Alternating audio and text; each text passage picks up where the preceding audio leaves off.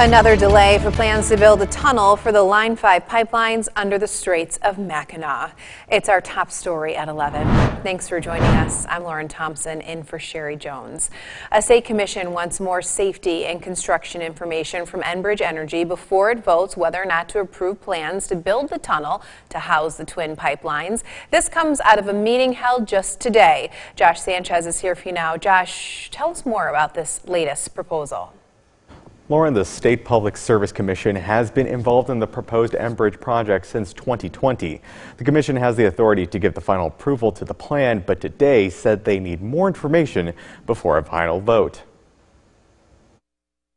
This has been an extensive process. Uh, we want to make sure that we get it right, and that is the, the rationale behind reopening the record for the uh, development of additional information in this, this matter. More construction details on Enbridge's controversial proposal to build a tunnel under the Straits of Mackinac.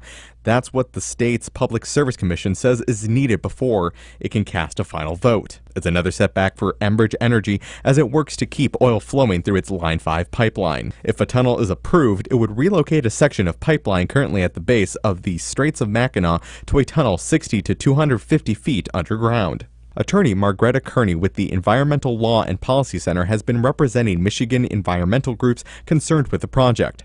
She says this latest development shows that Enbridge officials have not been transparent through the application process. Really, what we're seeing is Enbridge is still and has a history of not providing sufficient information to the state to make the state feel comfortable with the risky actions Enbridge is taking. An Enbridge spokesperson declined an interview but says the company believes that the state commission has extensive information documenting the engineering and safety of the Great Lakes Tunnel. While Enbridge officials say an underground pipeline would be one of the safest ways to transport oil, Kearney says she's skeptical. And I think it's really important that Enbridge interprets this order from the commission very broadly. Um, they really need to prove to the state and to the people of Michigan that there is zero chance of an accident here. I think that'll be a very hard thing for them to prove.